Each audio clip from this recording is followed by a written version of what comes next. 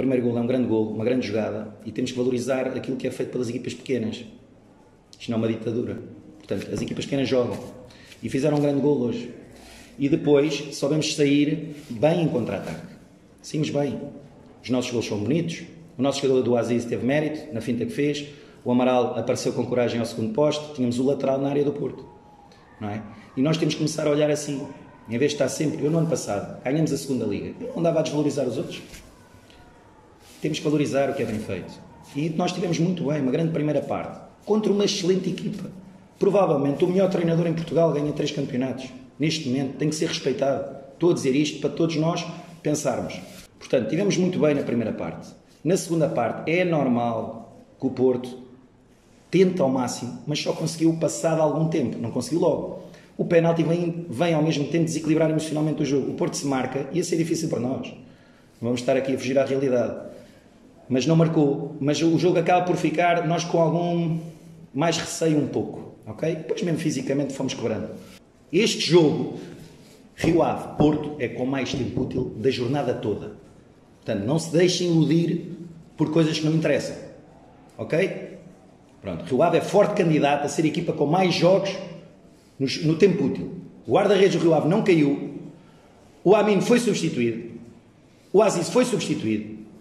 Temos que ter respeito uns pelos outros. Entramos, entramos uh, no jogo uh, de uma forma uh, que não foi planeado.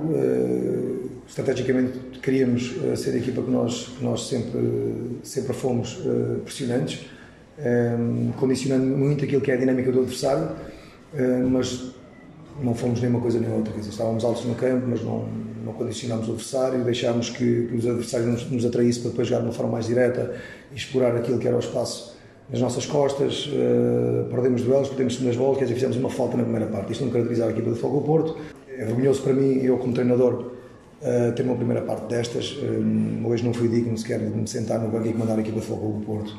E houve, obviamente, isto é extensivo à equipa e alguns jogadores também, naquilo que é vestir esta camisola, têm, têm, têm, têm um mínimo, têm um mínimo o mínimo que nós precisamos de dar. Obviamente que cada, cada bola à baliza era golo e nós na segunda parte tivemos 20 e tal remates, eh, podíamos ter feito 40 se calhar, eh, mas aí já entrou aquilo que é futebol português, o tempo útil do jogo, constantes entradas da, da, equipa médica, reposição de bola de guarda-redes muito lenta.